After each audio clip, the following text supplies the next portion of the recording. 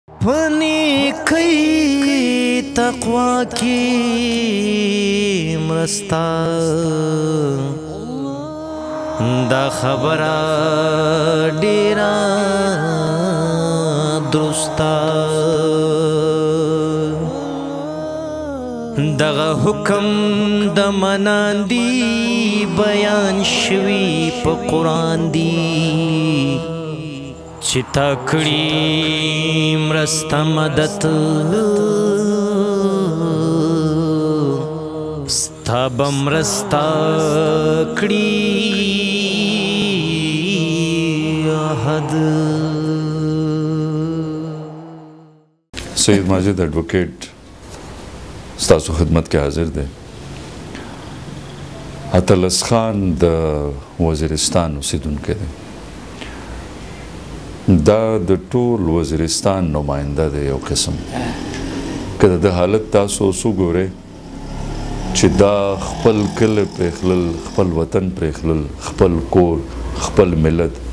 خپلوان، هغه کلتور، هغه ژوند، هغه ټولنه پرېښلل او څه دپاره؟ یو پردي جنګ کې چې د هغه جنګ موږ ته د فزیکل یا دغه چې کوم جسماني نقصان دی دنه زیات موږ ته کلتوري او زموږ ټولنې ته د اجتماع هغه اجتماع کېدل جمع کېدل نقصان دی هغه یو سکالر وای پوهان دی چې که تاسو چرته غواړئ چې یو قام تباه کړئ نو تاسو د هغوی کلتور تباه کړئ او دغه جنگونه چې د پردي جنگونه مونږ خپل وطن ته راوړو او په خپل وطن کې لبو چې څوک هم کوي د سره مونږ ته غټ چې کم نقصان راغلی دی هغه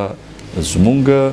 د اتفاق او د اتحاد هغه ځایونه چې کوم ته مونږ سوشل انسټیټیوټس وایو هغه ماتېدل دي مونږ د دې جنګونو په اړه کې د هغه د کلتوري د یو کېدل یو ځای کېدل هغه مونږ مات کړل د دې غټ مثال هغه حجرې دي چې د دوی خپل وطن کې هغه حجرې به وي دوی به خپل کلی کې بناستو خپل مشرانو سره بناستو هغه مشران چې د کومو کردار د راهبر د رهنما په شان و که نن دغه سپين ږيری اطلس خان تاسو وګورئ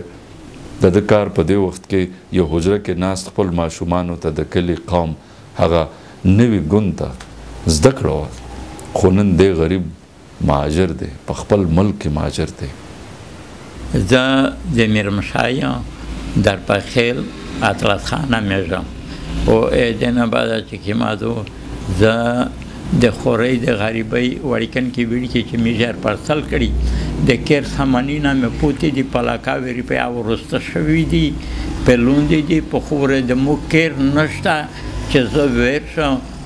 په ګڼه کې کېر مې په کرایه نیولی و،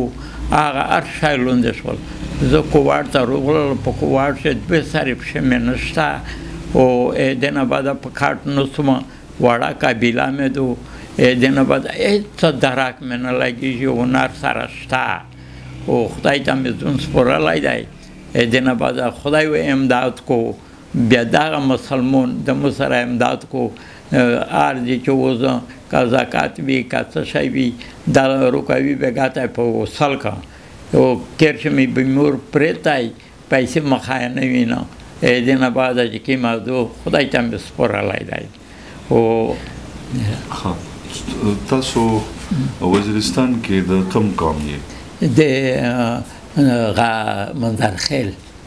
ښه ښه او څوره وخت اوس دلته راغلی یې دا غاجی شپږم کول دی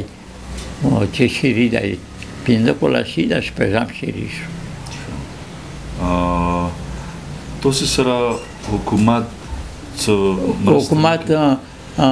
بار زراری پیرو کوي په دې شي پیندار نه کاټ کو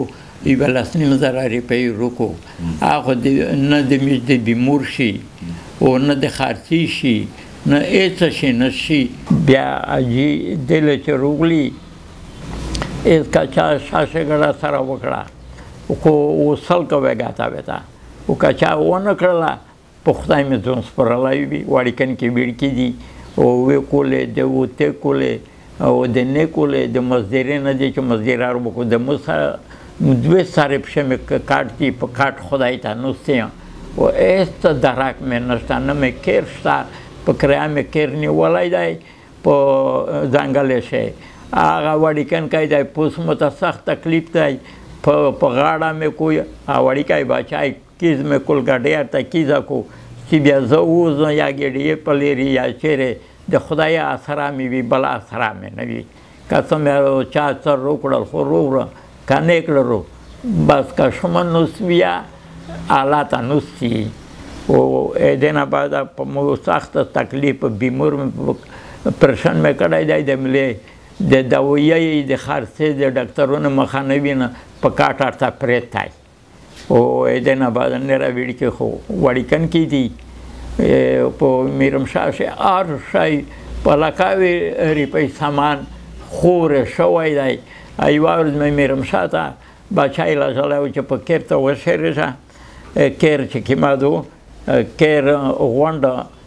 چي کومه دو ړنګ دی او اور دی څمنینه کلوندي دي ورسته دي هغه دیګي څمنینه هغه وړي دي او یو پریج چاته کړای وو آیا وړای دی با په کوار شه دی نست پریتی دغه سا د خدای لتا او پروردگار چې کومه دو کنه چې موتا دغه د کایا شیا پیرته خو نه تلای شان نه مې کېرستا نه مې رزګرستا چې مو ته داسې کوارټر خدای پاک حکومت ته ملاو کو نو د سه ته په دغه حالت کې څه کار وکړي ستا خو دغه خپې دې کټ دي د دې شوګر په وجه باندې کټ دې شوګر په وجه باندې نو ته په دغه حالت کې څه کار کوي نه خو په دې حالت شو زه دا کار کوم چې خدا وړي کن کې حکومت شاشه ګړه کا خدای پاک سره ته وکړله چې یا مو ته تنخوا ولګېږي یا څه چې زه بل بچې ته وړکن کې دي چې څه وي ته پاک ماشومان دي کاکا ماشومان غون پنځه دي د نره وړکن کې دي د یو دای د ستر ژنای د په دماغ شي یې پارته نه نه چار کو نه لیار کو سپاسو تر خطا خطه وګوندي وزي چې وزي هغه نه بیا روشي کېته بس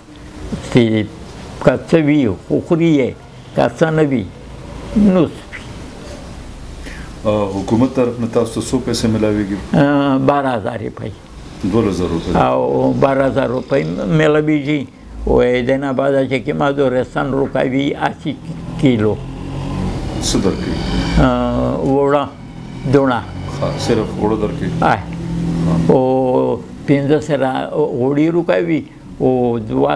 دوا سره چې کما دو دا چڼې دال نه روپاوي میټه دال روپاوي نو په دې باندې بیا تاسو 80 کیلو یا 80 کیلو چې کوم موړ دي او بیا غوړي دي 15 کیلو په دې باندې تاسو کور بیا گزاره نه کوي نشي دمرا بچای مې پنځه شپېلو د کړي دي ماسي شي کواسي شي هر په سر شي ټول تا سره دي بیا اے بیا رو شي یو ویش کا سات جوړ شي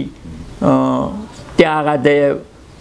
خدای پکې و ته راسوي ته ماړوي یې کنه یو کلی ته اخري ځل کړه لاړې کلی ته مې څلور ورځې شي چې بچای مې لا ځل زه خو نه شو تلای متخبانو ته د آسی میل بنی دی بیا چالیس میل میرمشا دی نو زه په دا ګوډې نه مې څک چګوای شي نه مې وړای لاړو بچې د لاړو سې وشي کور مې رنګ دې بالکل ارشای ختم شوی دی چې په میش باندې آرډر وکړو حکومت چې کورینه خالی کړي د میشت حکومت دا نه وویل چې تاسو سامان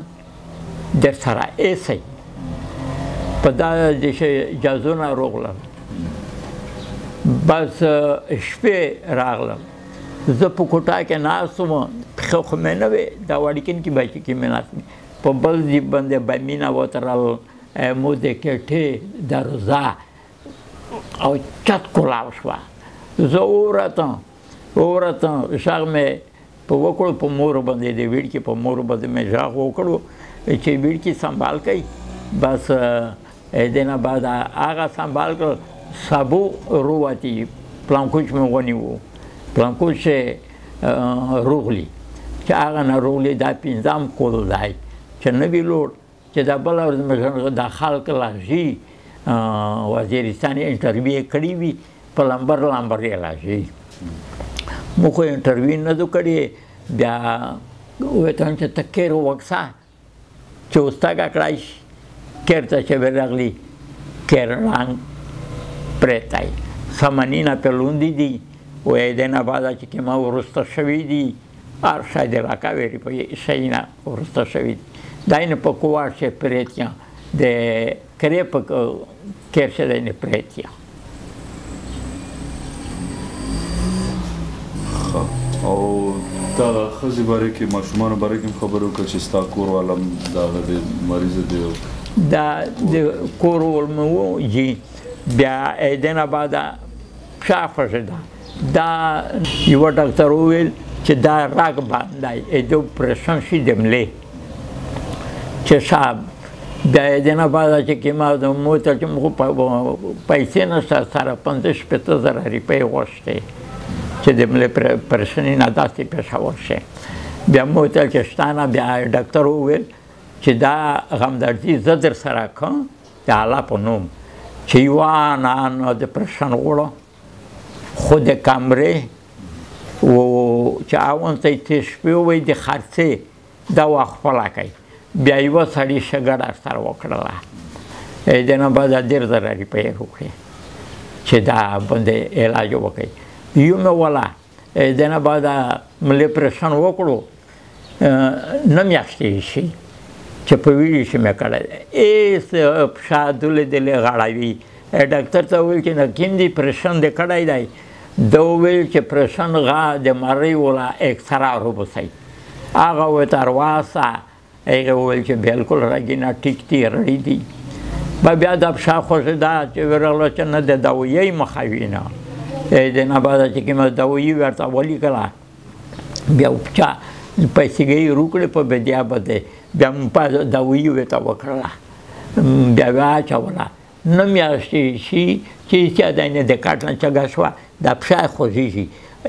ای غوند نه خوځيږي لکه احوال چې خوځیدو ونه جړلې یې ونه جړلې یې اوس یې گزاره کړې نو یې چې گزاره کړې دو بیا ډاکټر وویل چې بیا اکسرا روبسای بیا د ماریولوژي اکسرا بیا وته واسطه چې اکسرا ټیک ته بیا به په خبر ته روغالای په خبر ته او بیا د مو سره درک نشته پیغام ټي وي لخوا مونږه اطلس خان سره چې کوم یو جنگ زپل خاندان دی چې کوم دغه بیماری چې کوم دغه مریضي زپلی خلک دي یو خاندان او فامیل دی دوی سره مونږ مرسته کړو او تاسو ته هم دغه خواسته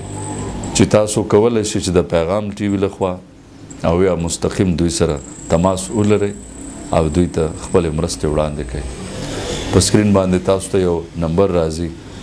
کولی شئ تاسو دغه نمبر ځان سره ثبت کړئ، نوټ کړئ او بیا مستقیم، ډایرکټ، تاسو دوی سره تماس ونیسئ او یا د پیغام ټي وي له خوا تاسو دوی سره هغه مرستې ترلاسه کړئ. ورته پیغام ټي وي له خوا موږ. اطلس خان کاکا تاسو ته تا یو لزر روپۍ مرسته ډالۍ کو او د امید څخه ان شاء الله چې تاسو یو څو ورځې دوانې به تاسو په دې باندې وشي د مو سره ډېر غم درځي وکړله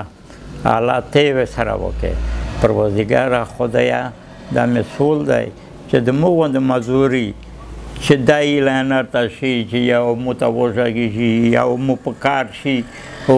کار ورسره وکړو د خدای غرض کړی دی خدای غرض کړو زه وکاتم چې من دوی سره پښې د